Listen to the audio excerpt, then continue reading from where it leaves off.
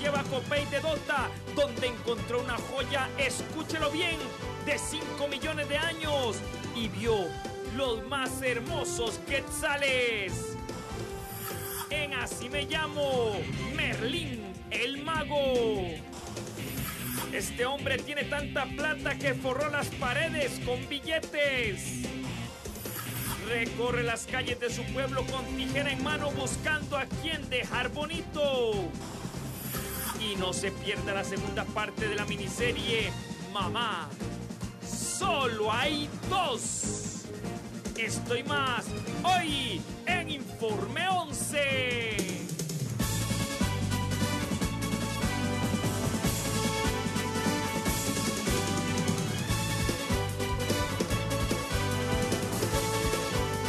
Muy buenas noches, queridos amigos. Nos da mucho gusto que nos esté acompañando en esta noche de martes, en donde, como siempre, les hemos preparado un programa que si fuera de comida está para chuparse los dedos. Exactamente, y es que el mochilero se fue para los Quetzales de Dota, un lugar ubicado en el Cerro de la Muerte, a 2.700 metros de altura, nada más y nada menos. Bueno, y es que ahí aprovechó para hacer de las suyas, observó a los quetzales muy, muy de cerca y por si fuera poco, encontró un fósil de unos 5 millones de antigüedad. ¿Qué les parece? Imagínense ustedes, bueno, entonces es momento de ponerse la mochila y descubrir este mágico lugar.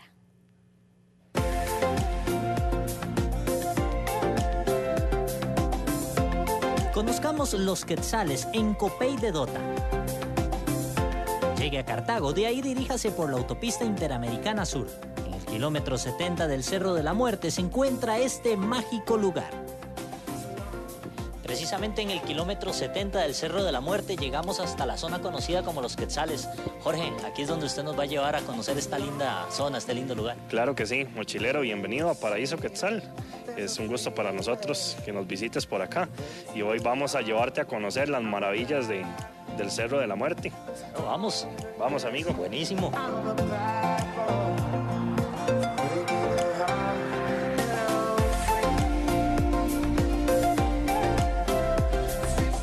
Mochilero, acá te presento a William. Él es parte de, del proyecto de Familias para la Preservación del Quetzal. Es un proyecto donde se trabaja en conjunto con, con las familias alrededor de, de, acá, del Cerro de la Muerte. Es un trabajo en equipo correctamente. Se ven, se ven, se están viendo aquí en su finca. Sí, claro, claro, sí, sí están llegando, ¿verdad? La época realmente están llegando los, los pajaritos. Vamos a verlos. Claro, claro. Está bien, vamos a ver si es cierto, William. Vamos. Este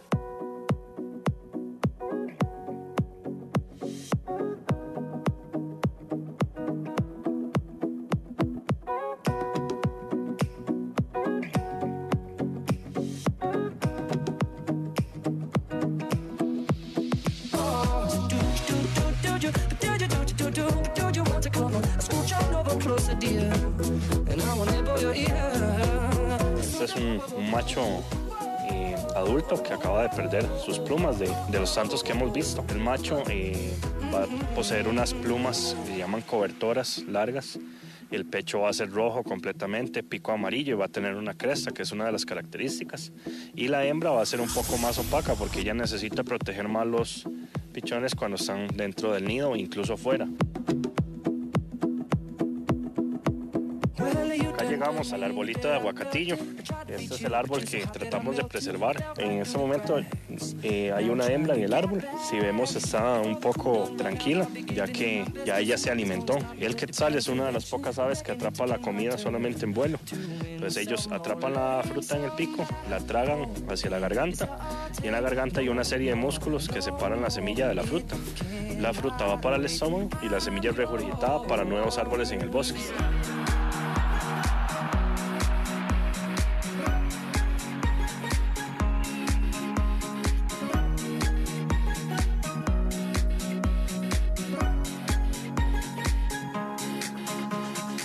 Jorge, no, por más que trato de ver qué es, no sé cuál es el significado ni por qué me trajo a ver esta piedra. Claro, mochilero, lo trajimos a, a conocer uno de los, tesoros, de los tesoros más grandes que guarda el Cerro de la Muerte. Esta es una roca, un fósil eh, de hace aproximadamente 5 millones de años, cuando esta tierra, aún estando en ese momento a 2.700 metros de altura, se encontraba debajo del océano. Esta tierra surgió y hizo que, que mm, seres vivos como caracoles, conchas, quedaran incrustados entre rocas y este, en ese momento tengamos la, la, la gran dicha de poder observarlos, ¿verdad? Acá. Ahí lo que había era un caracol entonces. Un caracol, correcto. Ahí había un caracol. Imagínese el tamaño.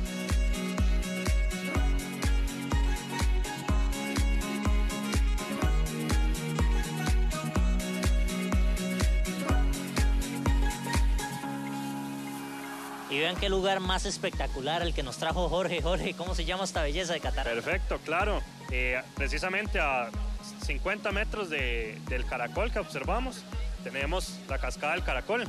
Sus aguas nacen aproximadamente a, a un kilómetro de acá y son las nacientes de, es la naciente del río Pirris, que al unirse con el Candelaria forma el río Parrita.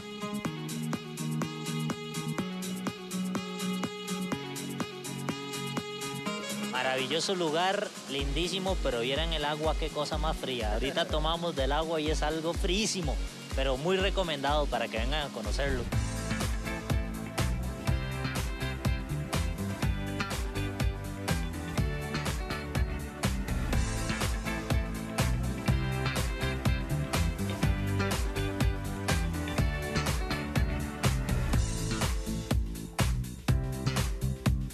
El Cerro de la Muerte hace bastante frío, pero es un lugar ideal para pescar la trucha.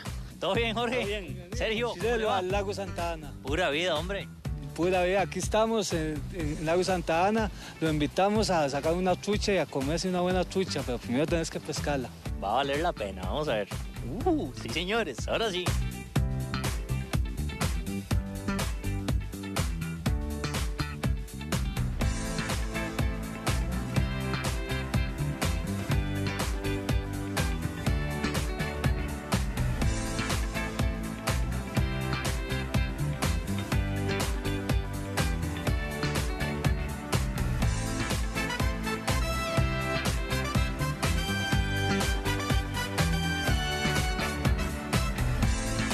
Vean qué delicia.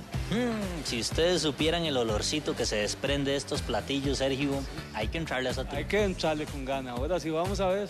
Viene la pata mejor.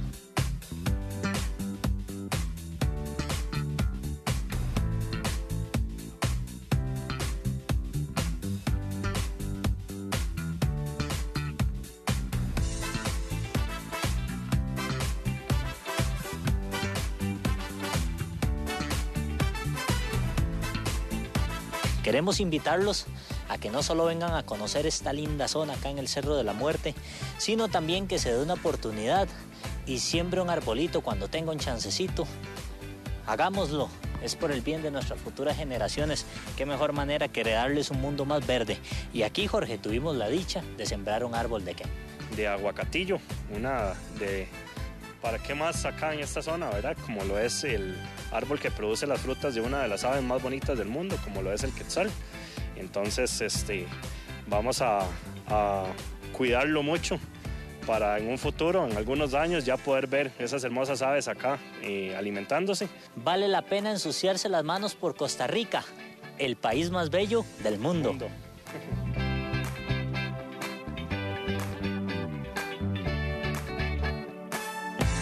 Bueno, y es que sin duda no nos cabe la más mínima duda de que Costa Rica es muy rico en avifauna. Ya vieron ustedes las bellezas que tenemos en este sector de, del Cerro de la Muerte. Y así conforme nos vamos moviendo hacia el este, el oeste, el norte y el sur de nuestro país, encontramos nuevas especies, unas por factores climatológicos, otras por factores migratorios. Lo cierto del caso es que adornan el paisaje de manera inigualable, así como lo vimos con estos quetzales.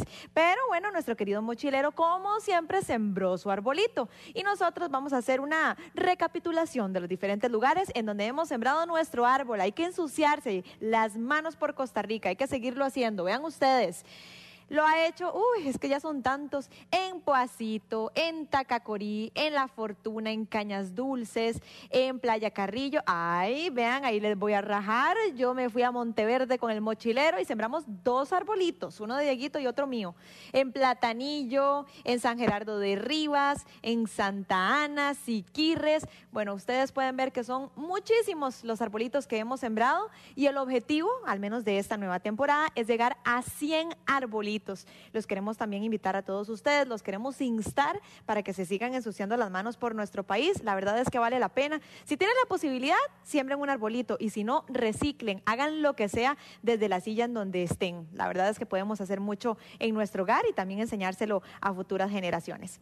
Pero bueno, vamos a continuar con más historias, así que Nati, ¿con qué seguimos? Bueno, Lucy, yo espero que uno que debería de ensuciarse las manos triple y cuádruple por Costa Rica lo haga en esta ocasión, porque ayer iniciamos una miniserie del galán, ¿recuerdan? ¿Cómo que se lo perdieron? Ah, no, no, no, tienen que ponerse al día. Agárrelo desde ya, porque ayer les presentamos dos capítulos de esta miniserie que se llama Madre, solo hay dos. Y es que el galán se fue para Guanacaste, por eso les digo que ojalá se haya llevado unas semillitas, por lo menos de al- algún arbolito que no haya por allá, y la siembra con sus dos mamitas. Resulta que él las invitó a su mamá verdadera y la mamá ficticia, la que vemos cada viernes en las aventuras del galán. Pero estas señoras no se llevan como que muy bien porque las dos de ahí tienen rivalidad por el galán. ¿Ustedes se imaginan eso? Bueno, pues le pone un picante muy bonito a la miniserie. Hoy le damos continuidad, mañana finaliza. Así es que de inmediato vamos a ver cómo les va en esta parte del gran paseo y la gran aventura para celebrar el Día de las Madres. En América una larga fulgura, es Costa Rica la reina del café. Es un meseta por montadura, luce el diamante de su San José. Por ser tan linda Costa Rica la llaman, la Suiza centroamericana. Por ser tan linda Costa Rica la llaman, la Suiza centroamericana. ¡Ay, qué bonita es esta vida! El recorrido que vamos a hacer hoy van a ser siete cables en total. ¿ok? Todos son diferentes. Hay cables altos, bajos, largos, cortos y rápidos. Eh, importante, su arnés. Llevan un arnés y llevan una pechera. Eso ustedes no deben de tocar absolutamente nada. Si lo sienten muy flojo o muy ajustado, le avisan a cualquiera de nosotros. Y esta es la polea principal, ¿ok? De esta manera nos vamos a enganchar. Esta va a ser la posición correcta para hacer el canopy. Van a estar sentados sobre el arnés, ¿ok? En este caso la mano fuerte de ustedes, ¿verdad? Derechos. Sí, señor. ¿Todos son derechos? Ah, sí, señor. Ok, entonces vamos a tener la mano fuerte en el cable, atrás de la cabeza, atrás de la polea. ¿Esto por qué? Porque esta es la mano del balance y el freno, ¿ok? Entre más atrás la llevemos, vamos a obtener un mejor balance. Perdone, que ando en una araña ahí. Ahí está una araña, Ah. cuidado galán, porque es venenosa. Ah, Muy venenosa. Entonces con ella vamos a mantener el balance, ¿ok? Nunca la traigan cerca o pegada a la polea, porque perdemos el control y va a suceder esto, miren. ¿Verdad? No es conveniente. Entonces, atrás para mantener el balance.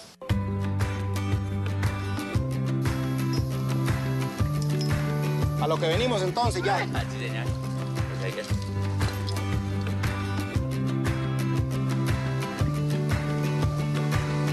Este, la pregunta del millón, ¿quién va a ser el primero?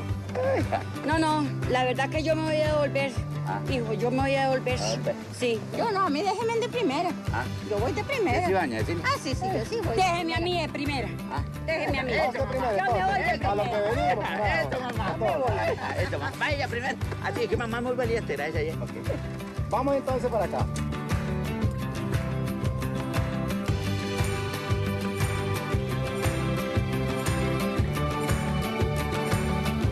Disfrute, vea bien bonito todo, mamá. No tenga miedo, ¿verdad? Que no va a pasar nada, ¿ok? Vea bien Tienes un todo, poquito mamá. más hacia atrás. Vea, la- vea ve pajarito, mamá. ¿sí? Al final lo van a frenar. Ah, sí, señor. Ya, mamá. Ok, Yo la vamos. acompañe, mamá. Ah, besita, mamá.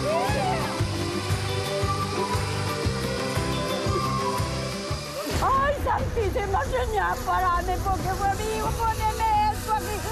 Ay, Virgencita de los ángeles, acompáñame. Sálvame. Ay, ay, ay, Dios mío, ¿qué hago? Ay, ay, ay. Ayúdame, gracias, Señor.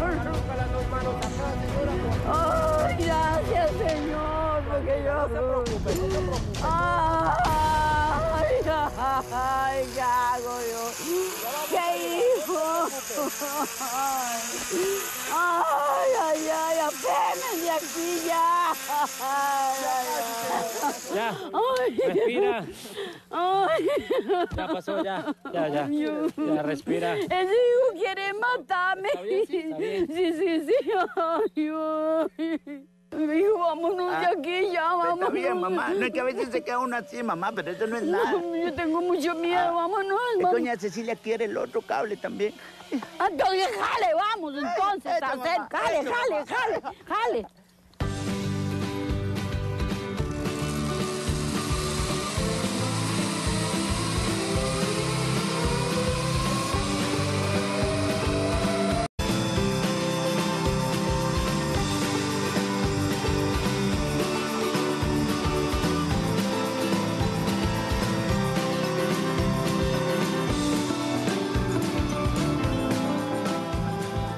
Bueno, y hasta el momento les cuento que todo va relativamente bien, todos bastante valientes, incluso el galán, y es que eso no es tarea fácil, porque cada vez que uno se tira de, del canopy empieza a sentir el corazón que Uy, se le que acelera. Y no, vieron ustedes, eh, las mamás súper apuntadas, el galán también un poquitillo nerviosillo, pero al fin se tiró. No, y me sorprenden las mamás, de verdad, qué animosas, porque eso no es cualquier mamá la que lo hace. No, una se quedó ya medio palo, pero lo Uy, importante sí, es que feo. tuvo la, la voluntad, la actitud y se tiró.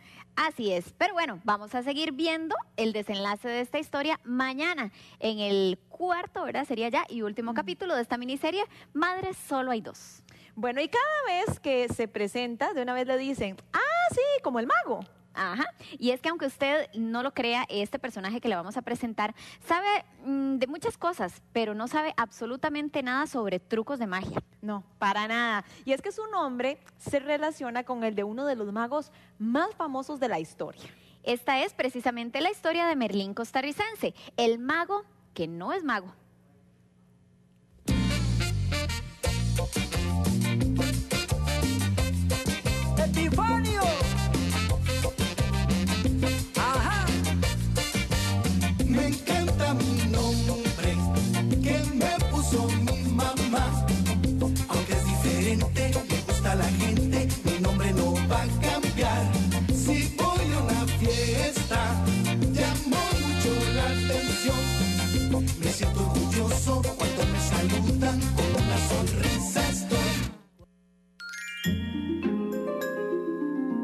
Todos los que lo conocen le dicen, Este señor es nada más y nada menos que un mago.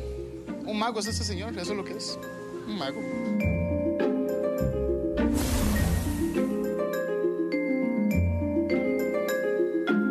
Bueno, dicen que yo soy mago, pero en realidad no hago trucos, no me desaparezco. Y bueno, la respuesta está realmente en mi cédula.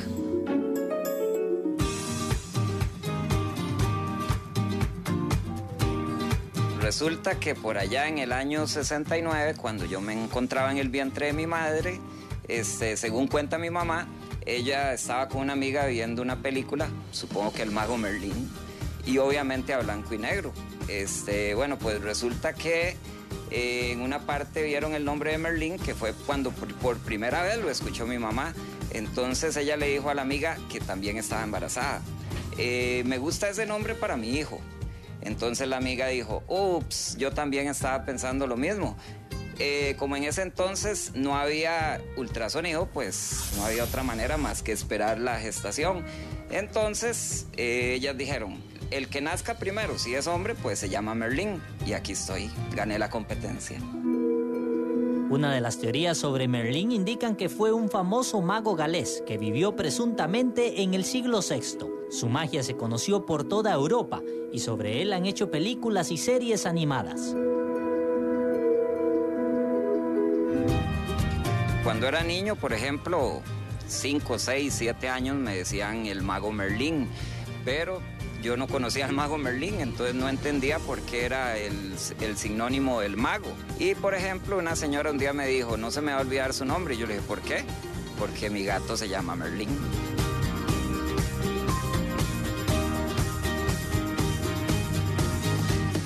Mi mamá me decía que mucha gente incluso se burlaba, que por qué me había puesto Merlín cuando todo el mundo se llamaba José, Mario, Víctor o Martín.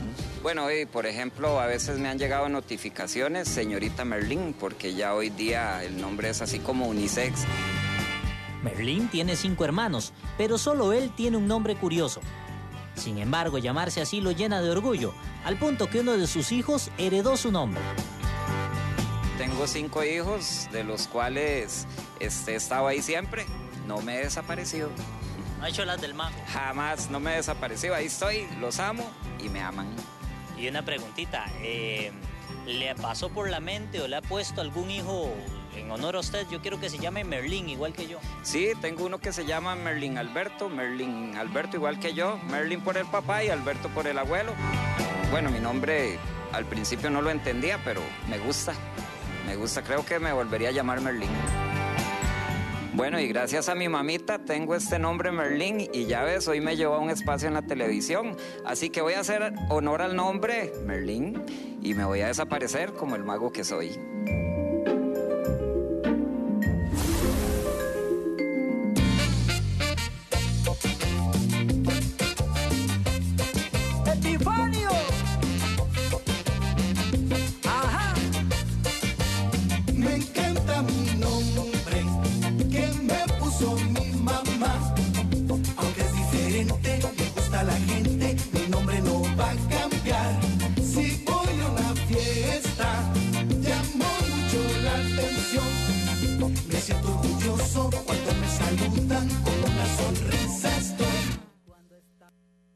Ven que de todo se puede aprender en esta vida. Hasta mago resultó después de la nota. Muy Bueno, bien. ¿Quién iba a decir, verdad? Sí, sí, Desapareció completamente.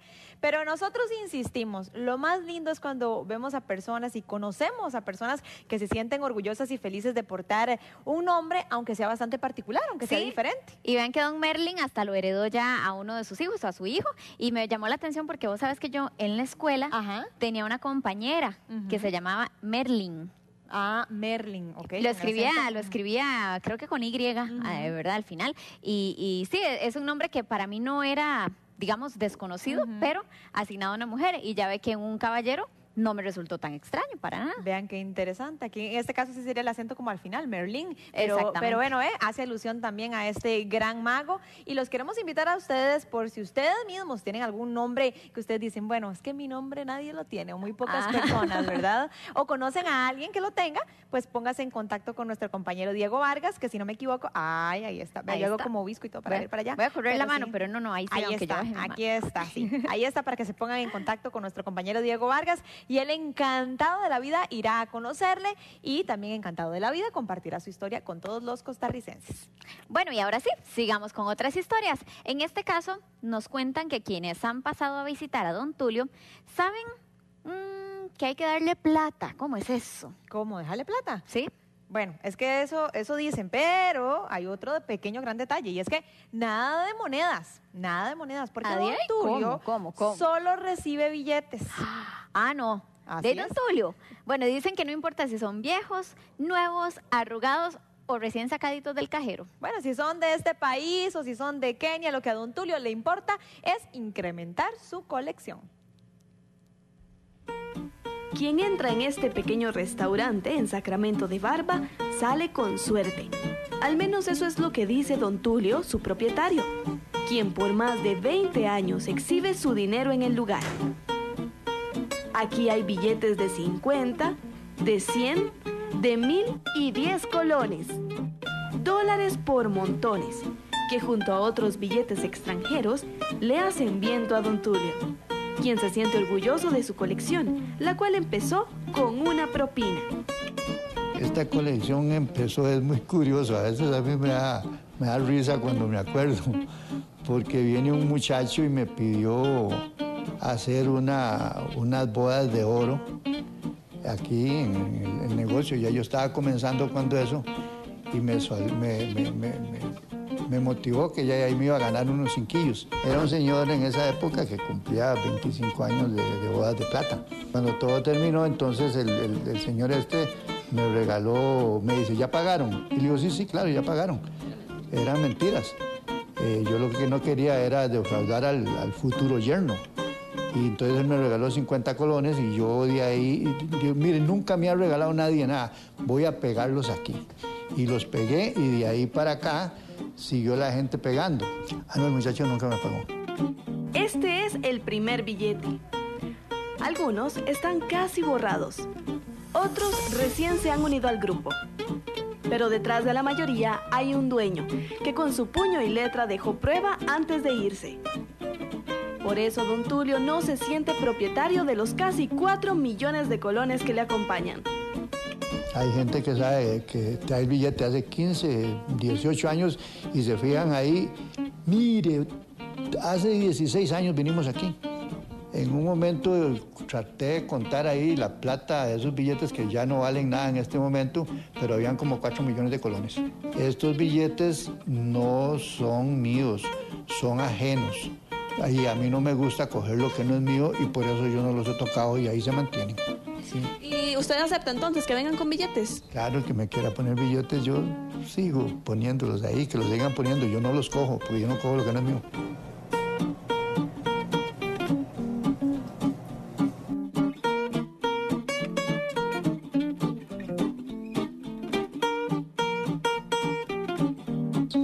Pero el más caro de todos los billetes que tiene usted. Todo es este de, de mi- de mil. Con ese billete he comprado una finca anteriormente. ¿Y una finca de cuánto? Una finca podía ser de, qué sé yo, tres, cuatro manzanas de tierra. ¿Cuántas fincas podríamos comprar aquí? ¿Podríamos comprar el país? Con- sí, con lo que hay aquí ahorita, oiga, ni, ni idea, 100, 200 manzanas. Una colección muy particular en la que personas de todo el mundo han colaborado. El orgullo de Don Tulio. Dinero a su mano, pero ajeno.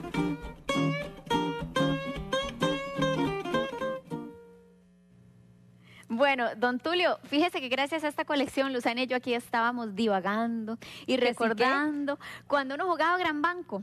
Que agarraba esos billetes que parecen como si fueran de mentiras. Uno dice, algún día esto tuvo valor realmente. Y ya vemos que sí. Bueno, eran como de este tamaño, pero sí. Sí. definitivamente era bastante mágico también pensar que uno podía tener esa gran cantidad de dinero y comprar tantas propiedades. pero bueno, es increíble la pasión de Don Tulio que lo ha llevado a coleccionar esta cantidad exorbitante de billetes. Ojalá que lo siga haciendo. Son personas realmente apasionadas eh, que buscan pues coleccionar ciertos objetos, como el caso de Don Tulio. Yo tengo también eh, un compañero, bueno, un, un señor, se llama Don Martín, por si nos está viendo, que él también le encanta coleccionar billetes. Ajá. Entonces siempre que, que tiene la posibilidad y alguien viaja, entonces le dice, ay, tráigame un billete de tal lado Claro. para ir haciendo más grande su colección. Así que hay personas muy, muy, muy apasionadas que no se quedan, ¿verdad?, de- con las manos cruzadas y quieren ir incrementando cada una de sus colecciones. Cuando vos eras niña, ¿cuál fue el primer billete que, que tuviste? ¿Te acordás? Que el que tuve, de ni me acuerdo bien, tal vez el de, ni me acuerdo, el de 50 colones. El de tal vez. 50. Sí, ¿verdad? Sí, ahora que era lo un montón de cierto. plata. Porque yo me acuerdo que Uh. en esas épocas, porque Lucy y yo somos de edad parecida, modelo 85, ¿verdad? 85. Por ahí andamos. Entonces me acuerdo que estaban los billetes de 50, Ujú. pero si llegaba a nuestras manos un billete de 50 era porque la mamá lo mandaba a hacer el, el mandado, valga la redundancia, y esperaba vuelto bastante grueso, ¿verdad? Y estaban los billetes morados de 500. Qué lindo. O Ay, anaranjados. sí. Mm, Bueno, en fin. Morados, creo que eran Ah, eh, morados. Sí, pero era una maravilla. ¿Qué, qué, qué más? ¿Qué más? Los billetes, los Ay, billetes, sí. los de 100 colones, los tradicionales, los El de- los negrito, grises, ajá, ajá. Sí, sí. El café de 20 nos están soplando por aquí. Ay, también, por Qué ejemplo. impresionante, Qué lindo. bueno, yo me acuerdo bonito. una vez que mi mamá, yo iba para la pulpería, que quedaba como así, como a los 15 metros de mi casa. Me decía, mami, sí, sí, agarre, agarre de ahí del rinconcito donde ella tenía. Y yo fui, compré. De todo. De todo. Me dice mi mamá, ¿pero de cuánto cogió? Yo, de, ay, yo cogí todo lo que vi ahí, pobrecita. la dejé sin nada, la pobre, quién sabe. Bueno, Bueno, eh, agarré como 5 mil colones. Ya nos pusimos a tertuliar demasiado. Van a Pero, disculpar. Sí, sí. es que- Mejor vamos a hacer un corte y ya casi regresamos. Tenemos más historias. Pero yo me acuerdo, nosotras dos. yo me acuerdo. En minutos, recorre las calles de su pueblo con tijera en mano buscando a quien dejar guapo y elegante. Y venimos con la segunda parte de la miniserie Mamá, solo hay dos. No se lo pierda.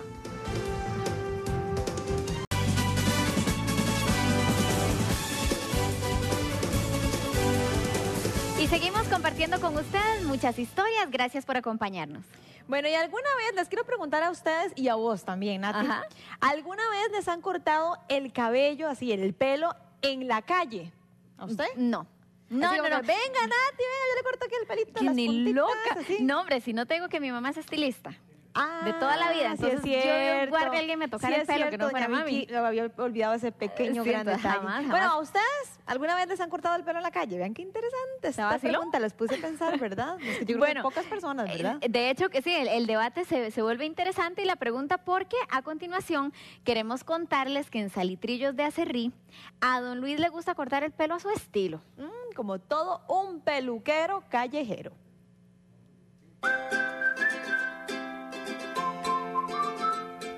Don Luis no se despega de sus herramientas de trabajo. Nunca se sabe cuándo puede salir un cliente. ¿Qué Beto? Don Luis, ¿cómo le va? ¿Usted me puede hacer el favor de cortarme el pelo? Ah, claro, con mucho gusto, Beto. Muchas gracias, don Sí, Luis. sí, sí, Entonces sí. vámonos. Vamos. Ah, bueno, gracias. A mí me sirve.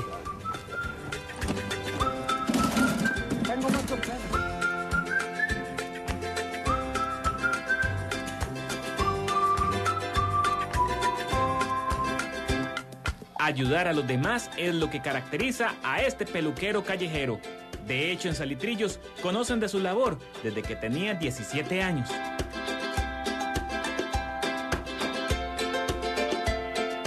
Yo voy a visitar enfermos. Enfermos, chiquitos pequeños, donde no, una señora no puede salir, tal vez está enferma, nos puede llevar. Me encanta ayudar, hay que. ¿A usted le gusta andar en la calle viendo a ver quién le puede ayudar? Ah, claro. Sí, sí. Por lo menos cortando pelo, que es lo mínimo que puede hacer uno. A sus 73 años, don Luis recorre las calles de Salitrillos de Acerrí, siempre buscando un cliente.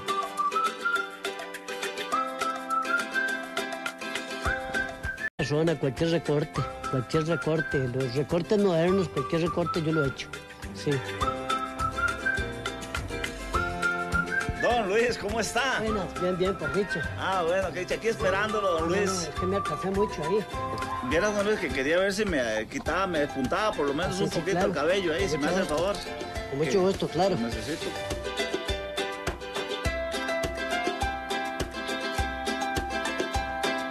Para este peluquero, el dinero no es un problema, porque lo hace con cariño.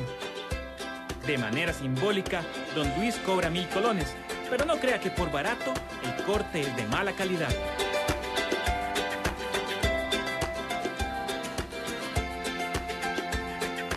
Desde pequeñito yo lo conozco.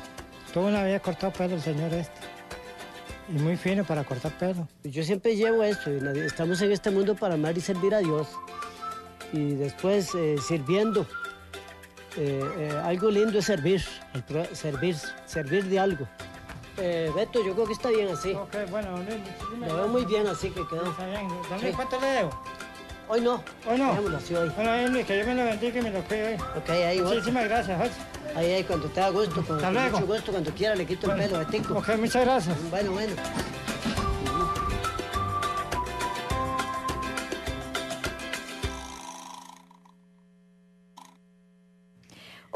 Aplauso para don Luis, qué hombre tan emprendedor. Al menos yo nunca había visto a un peluquero callejero. Está muy bien. He de reconocerlo. Una solución bastante buena porque a veces los caballeros, sobre todo a los que pues, les crece el pelo más rápido o se les nota más, dicen, ay, pero es que cuándo voy a ir a poder sacar una cita y qué complicado. Entonces, de ahí don Luis, de una manera muy simple y muy llana, les corta el pelo. Y don Luis explica muy bien una, una cosa que me decía un profesor a mí de la universidad, y es que a veces no, no estamos por A o por B en la capacidad de crear un producto completamente nuevo o un Ajá. servicio.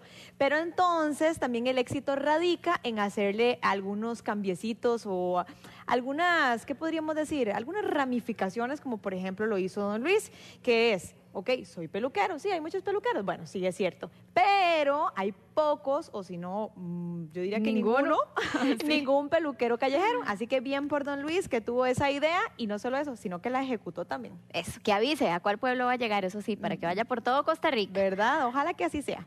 Su voz ha sido escuchada por miles de costarricenses a través de la radio. Y hoy conversamos con él para celebrar sus 31 años de carrera y también para recordar algunas anécdotas surgidas ante los micrófonos. Una vez eh, maté a un diputado. ¿Cómo? Sin querer queriendo, como digo. Porque eh, me pasaron la nota luctuosa, eh, que era una notita, y yo leí, leí el nombre que estaba con mayúscula y era el de un diputado. Y era que el diputado comunicaba el sensible fallecimiento de su hermana. Entonces, cuando yo leí eso en el radio periódico en la mañana, pues yo lo leí y nada más. Cuando llegué al mediodía, eh, don Rolando Angulo estaba pues muy molesto y me dijo que ya estaban en la Asamblea Legislativa llegando coronas y todo por la muerte del diputado, cuando era realmente la hermana. Y están disfrutando de la mejor música del fin de semana, la música más alegre. Su vida profesional está cargada de hechos de ese tipo, a veces jocosos y a veces angustiantes. Así llegó a 31 años de trabajo en la Radio Nacional, esta voz que por muchos años se ha escuchado en las frecuencias noticiosas, deportivas o musicales. Roger Lizano Soto hizo sonar su voz por vez primera en 1985 en la recordada emisora 1120 y el tiempo lo llevó a consagrarse en otros medios como Radio Periódicos Reloj, Radio Monumental, Popular y Deportes Monumental, donde aún labora como locutor comercial. Bueno, estoy cumpliendo 31 años de estar en la radio. 31 día con día. Día con día, 18 años en Radio Periódico Reloj, 26 voy a cumplir en Deportes, en Monumental, y los otros, pues, eh, en algunas otras emisoras también. Y todo eso le da una gran experiencia. Por supuesto, porque eh, la experiencia de, de leer noticias tantos años fue muy, muy agradable. Y no solo la formación de uno, sino también el, el, el estar empapado del acontecer del país y fuera del país. Y en deportes, pues haber vivido los mejores momentos del fútbol también. Una de sus experiencias más interesantes lo fue cuando laboró para Radio Periódicos Reloj, espacio de noticias sumamente escuchado en otras épocas. Esa época fue muy linda porque era la época gloriosa del radio periódico, donde todo el mundo a las 5 y 30 de la mañana ponía el noticiero y esa era la, la- la emisora que ponían en todas las casas prácticamente. Y estuve con Carlos Espinosa y estuve con Mario Lee. La voz suya era la comercial. La voz mía era la de los comerciales, exactamente. Y yo me encargaba de leer los comerciales, de dar la hora y de tocar las campanitas que daban la hora. Cada vez que usted daba la hora tenía que tocar la campana. Sí, era un timbre que teníamos así en la mesa, entonces yo tocaba el timbre pegaba unos tubos y eso era lo que producía el sonido de las campanas. Resumen de noticias, las más importantes de esta edición. Presidente Reagan no ha determinado si transferencia de fondos a los antisandinistas era legal o no. Diputados aprobaron proyecto geotérmico de Miravalles en primer debate. Radio Periódico Reloj 7 en punto.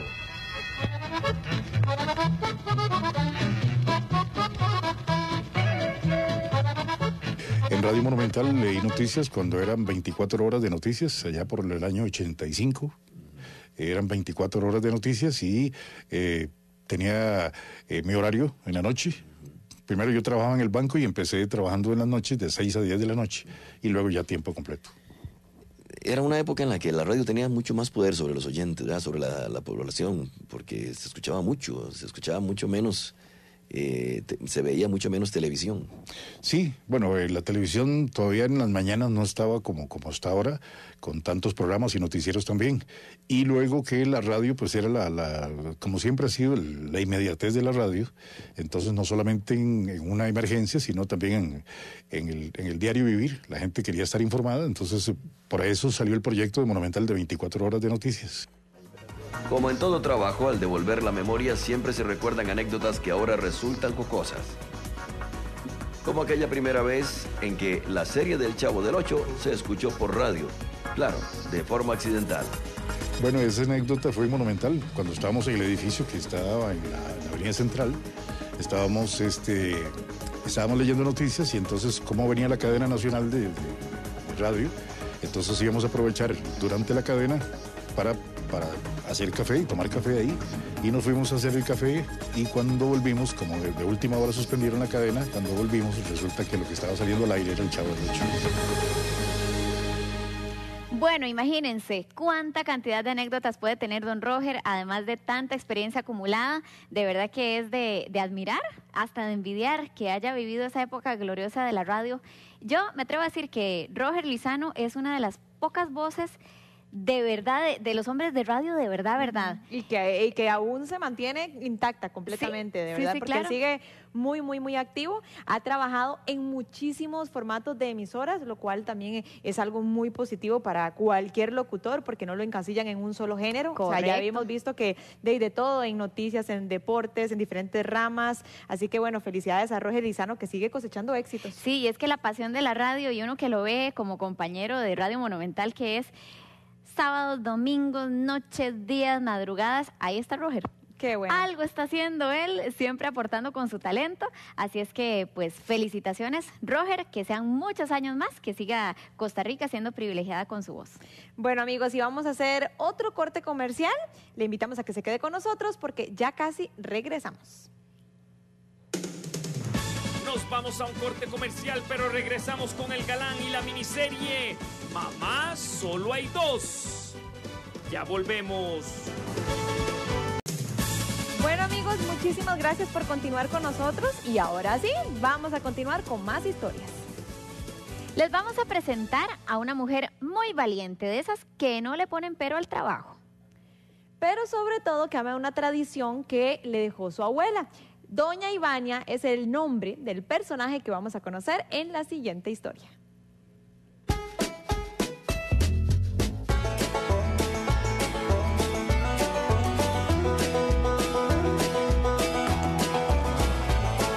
Ivania, qué mujer más valiente, ¿ah? Ah, vio, qué manera. Sí, aquí estamos. Yo hago de todos los oficios que hayan que hacer. Este, picar leña, chapear. Y usted no sabe para qué estoy haciendo esto yo. Ah, bueno, vamos y le enseño para lo que estoy haciendo. Bueno, te voy a ayudar.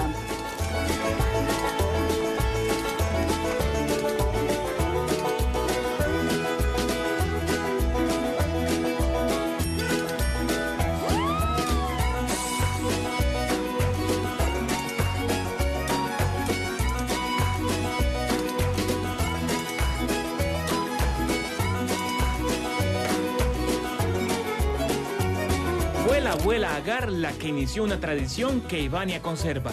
Ella trabaja en múltiples oficios para ganarse la vida. Y las tortillas son parte de esos. Desde los siete años nos enseñaron a moler a todas mis hermanas. Eh, yo le enseñé a mis hijas. Todas, todas sabemos moler. Este, se ve sencillo, pero tiene que tener este, un poco de, de práctica también.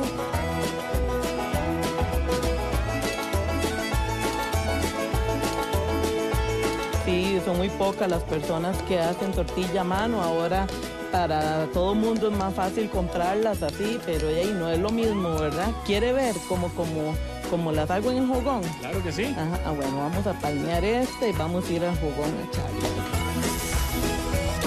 Las tortillas van pasando de generación en generación. Ivania ya enseñó a su hija para que ella también sea parte de esta familia de mujeres valientes.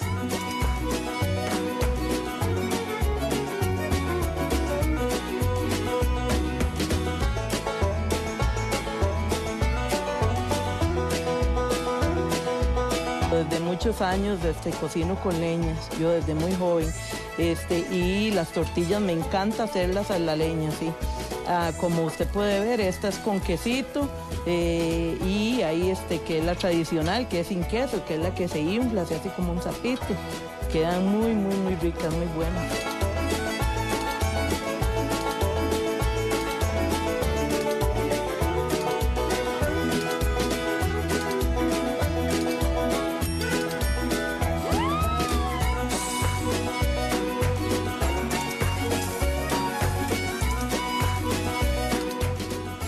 Siento muy orgullosa de mi mamá y de mi abuelita que me enseñaran a moler desde muy pequeña y así enseñarle a mi hija que ya ella lleva la tradición también.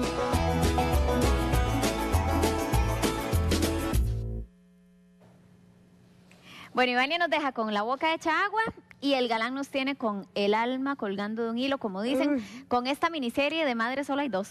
Madre, solo hay dos y si usted nos viene sintonizando, le contamos que hasta el día de mañana termina esta miniserie, así que usted todavía va a tener tiempo para que disfrute montones de las aventuras, o en este caso, insisto, desventuras del galán. Se fue con dos mamitas, con sus dos mamitas, ahí a hacer canopy, como si fuera, ¿verdad? Cualquier A cosa. pasear, a pasear a Guanacaste. A Está bonito. pasear. ¿Cómo le habrá ido? Bueno, vamos a ver qué sucede en este nuevo episodio. En América una larga fulgura, es Costa Rica la reina del café. Es un meseta por montadura, es el diamante de su San José. Por ser tan linda Costa Rica la llaman, la Suiza centroamericana. Por ser tan linda Costa Rica la llaman, la Suiza centroamericana. I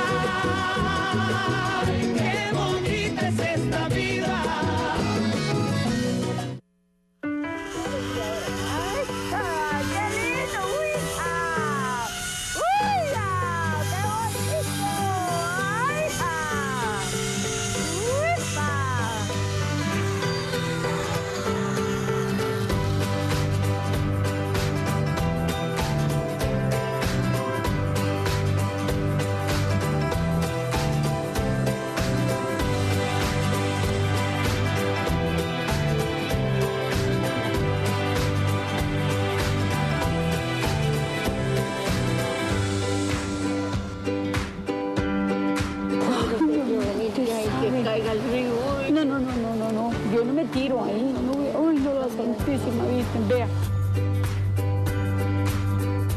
Hija, bueno, tan listas, mamá. Yo qué lindo, se tira así y es el tarzán. Ay, para eso ya. No, papito, yo eso no lo hago. No, no, yo guarde, no. ¿No lo hace, mamá? No, no, mi amor. Viera las, lo que siento aquí en mi pancita. No, no, no, yo guarde. No, papito, y también, ¿sabe qué? Ayer yo estuve muy mal de la presión y no. Sí, sí. Yo Sí, guarde, sí. mejor prevenir que lamentar, Ah, sí. ¿verdad? Vamos, ya sé, usted.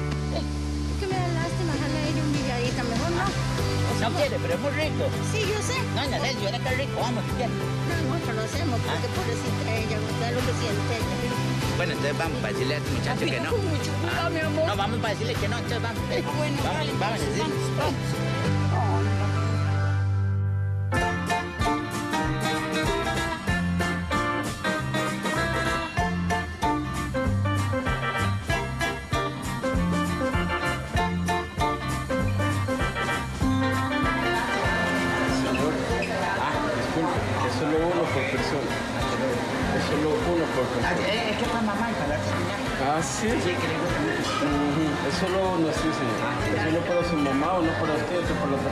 Pues yo volteo eso. Llevó mucho, sí. Bueno, está todo el rey. Está bien. El banco.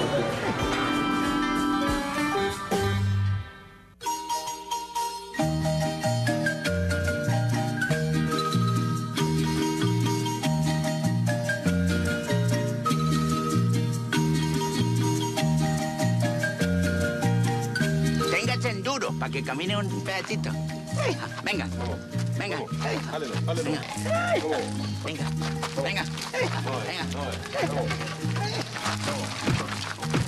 Oh, oh. Ay, qué Dios mío. Ay, ¿Qué le pasó? Ay, ¿Qué le pasó? ay, ay, no, yo porque me quebré. Ay, ay. Ay, ay, ay, qué bueno, hermano. Venga, mamá. Mamá, no. Ay, qué. Venga, mamá. Ya quiere salir de mamá. Ay, mamá. Ay, ay, ay,